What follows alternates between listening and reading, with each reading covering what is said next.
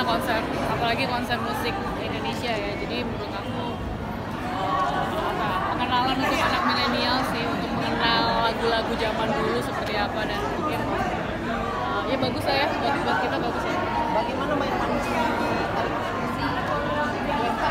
Unexpected sih kayak eh, siapa ya kayak tiba-tiba ada Mas Ikang Fauji gitu kan.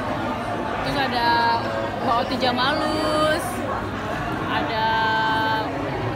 Harvey Malekolo dan tiba-tiba ada dari apa namanya ada dari ada Iqbal juga generasi milenial itu mewakili generasi milenial dan itu eh, menginspirasi Sosok kamu sendiri gimana Mbak?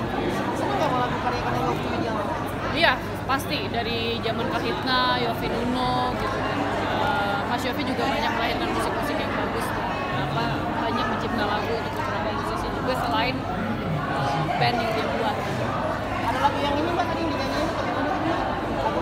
Ada lagu yang ini Mbak